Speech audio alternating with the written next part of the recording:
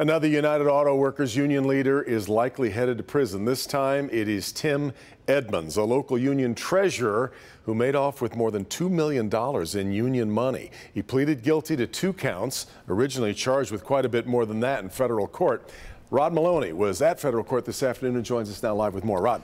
Yeah, Devin, you know, for the last couple of years, we've been covering the UAW corruption, a couple of national presence presidents rather, behind bars. But for all of those cases, uh, more than a dozen of them, there, this one may be bigger and more breathtaking.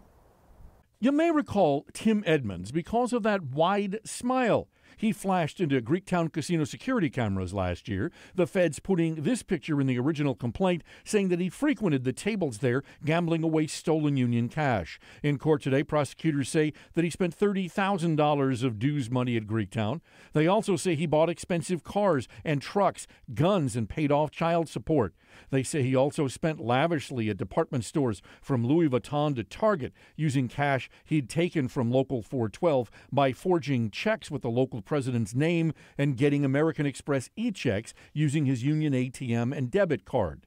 Here is Edmunds' UAW photo. He's smiling here as well, something he didn't do today in court as two federal marshals ushered him in in Orange Livingston County jail garb. He's been behind bars for the past two weeks because prosecutors convinced Judge Sean Cox that Edmunds was a flight risk. At today's hearing, Edmunds pleaded guilty to embezzlement and money laundering wearing shackles.